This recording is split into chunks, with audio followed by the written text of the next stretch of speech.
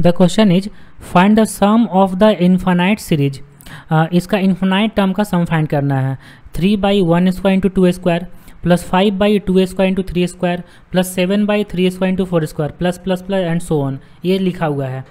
तो देखो, इसका जो एन टर्म है, वो हम सबसे पहले लिखते हैं। एन टर्म इसका पैटर्न क्या हो जाएगा?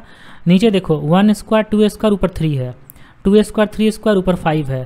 थ्री स्क्वायर फोर स्क्वायर ऊपर में सेवन है। तो नीचे तो एक एक का डिफरेंस है। लेकिन ऊपर एक का डिफरेंस नहीं है है ना?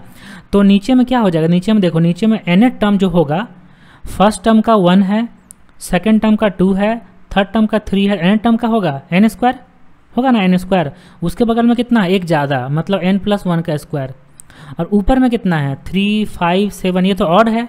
तो कितना होगा ये? ये होता है two n plus one odd है ना? ये होता है टू एन प्लस वन देख लो एन का वैल्यू वन रखो थ्री आ जाएगा टू रखो फाइव आएगा। थ्री रखो सेवन आ जाएगा, ऐसे। तो ये हो गया एन टर्म ठीक है? अब यहाँ पे n प्लस वन का स्क्वायर है और n स्क्वायर है। इसका डिफरेंस साइड में करके देख लो कितना आता है।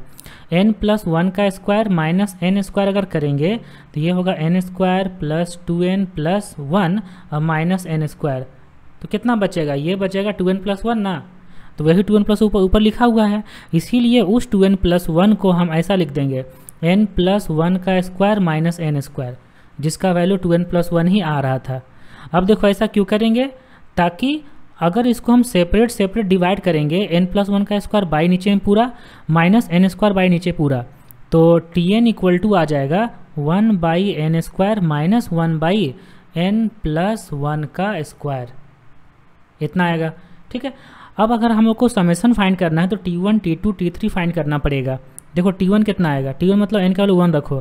तो वन बाई वन का square minus one by two का स्क्वायर ठीक है? टी टू कितना आएगा? टी टू आएगा। वन बाई टू का square minus one by three का स्क्वायर ठीक है? टी थ्री कितना आएगा? इसी तरीके से वन बाई थ्री का square minus one by four का स्क्वायर होगा? इसी तरीके से टी एन लिख दो।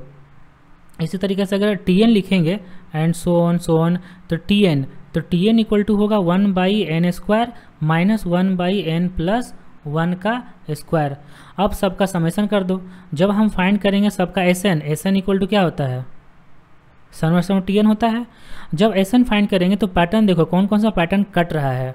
ये वाला पैटर्न कटर्न ये वाला पैटर्न, ये कट जाएगा, ये कट जाएगा। तो क्या क्या बचेगा?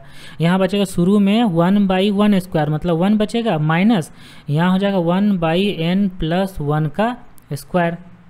आ गया। तो यही हो गया आंसर। आसान था ना? सो इजी क्वेश्चन तो देखो क्वेश्चन जो देख के लग रहा था पूरा कम्प्लेक्स क्वेश्चन है, लेकिन जब सॉल्व करेंगे अच्छे से मेथड से तो आंसर बहुत आसानी तरीके से आ जाता है। तो ये हो गया इसका आंसर ओके